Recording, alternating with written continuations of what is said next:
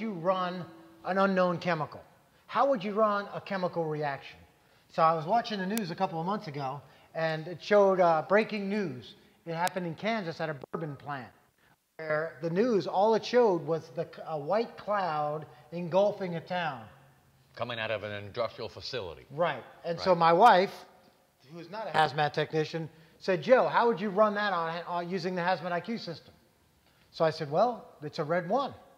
So let's, let's walk through the process and show how I got to red one, and, and then we'll walk through what happens next. So when you use the charts, um, what, do you, what do you do? You go to above the line, below the line, size up, and this one is two chemicals were mixed uh, inadvertently. So you get toned out, and it comes in chemical reaction, maybe odor call, Cloud maybe a cloud, maybe a cloud at an industrial site. And you know, as you're responding, it says that the truck driver just reported that he put sulfuric acid in the sodium hypochlorite container by mistake. It reacted and off gas. That's a lot of information, but what does that do to you? Okay, so we'd call this a red one. Now, why is it a red one? Because when you go to chart two, all the elements are listed in alphabetical order. When I look at the cloud, the word cloud is not there. The word odor is not there. The word chemical reaction is not there. The word rollover is not there. Leak is not there. So whenever the word is not there, and the answer is no. And the arrow that says that no inside takes you to what standard operating guideline? Chemicals can only be in two places on the periodic chart. It's either above the line or below the line. This is above the line till proven differently, till we get more information. Now, what's above the line? As we're all responding, we're all on the same play. All units responding to the Bourbon industrial plant, we're going above the line. What does that mean? It's a gas. The initial hot zone before meters get there is 300 feet. It's vapors that are toxic, that are heavier than air in parts per million. Those vapors are flammable. So they're measured in LEL. They have carbon and hydrogen. They're toxic. They're corrosive. They have fluorine in it. The pH paper goes red. The F paper goes yellow. You don't have to remember all that. Everything above the line, that's the standard operating guideline. That's why those charts that you have are laminated to keep with you on the rig when you respond. So it's the last bullet and above the line says go to chart three. You chart three, remember, you start in the upper left corner in the flammable clue box, and all the things Cris said, unknown, cloud, odor, it's not there. You go to the middle box, is then it's not there, so you go to a red one. What does red one mean? Red one means maintain your above the line all hazard approach. Yeah, but listen, look what it says in red one. It's an unknown, but you know the hazards. It's all hazard. Right, and you know the meters. It's all meters, and you know how to dress. Your in turnout gear and SCBA if it's flammable, which is the highest So, hazard. Cris, we just got a report from dispatch that sulfuric acid mixed with sodium hypochlorite. Now, Mr. Professor over here may know what that means, but for the rest of the world, hell, I don't know what that makes.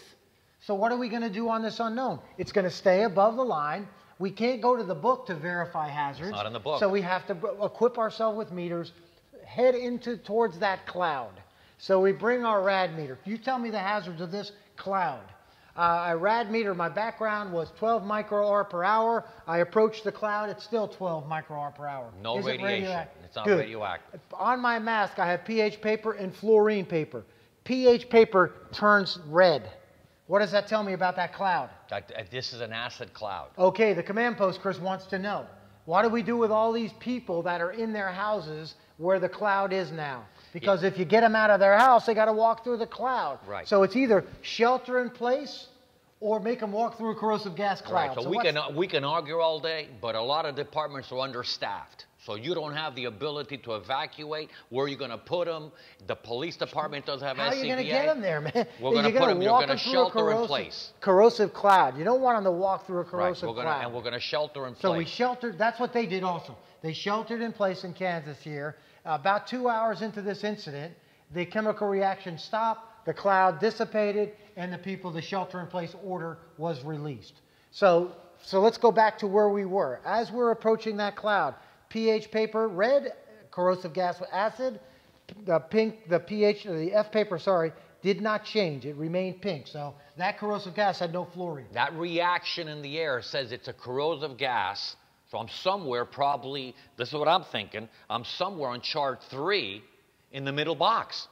Which is great news because the middle box is most likely not going to be flammable.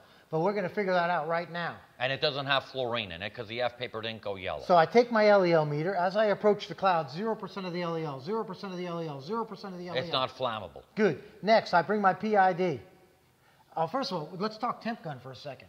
When, you, when you're approaching a cloud and the chemical reaction's five blocks away, There's no you- temperature you, reaction. You can't use the temperature gun to shoot the cloud. You cloud. gotta shoot the gun at the happening at the reaction. bourbon Right, plant. right. So LEL in that cloud, though, if that was a flammable gas, we would get LEL reading.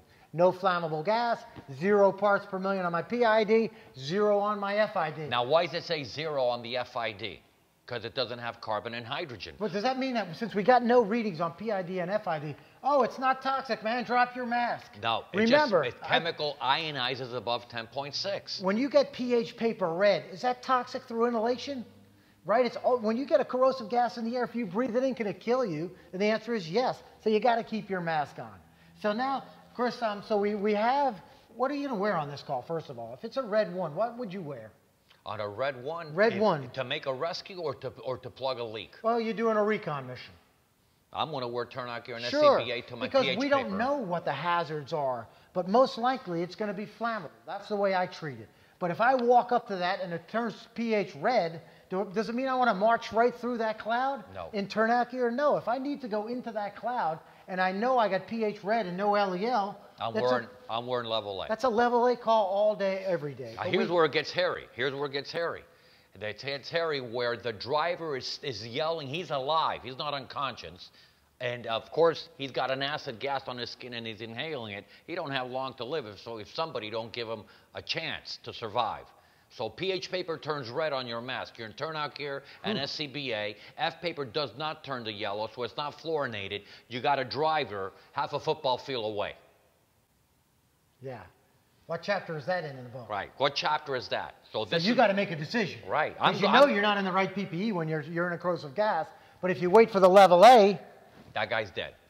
So what I would do, Cris, I'd look to see, hey, which way is the flag blowing? Right. If the wind's blowing that way, I'm going to approach over there. Another thing I'm going to do to try to make it as safe as possible, if me and you are making a, a rescue there, I'm bringing a hand line. Yes. And that hand line's going to do one or two things to that cloud. I'm either going to ventilate by using like air, like hydraulic ventilation. Or I'm going to blanket it with water and knock it down. It's Either always going to make it better, though, right? Yes, always. And, and I get right up to the driver. My pH paper on my mask changes right where the driver is.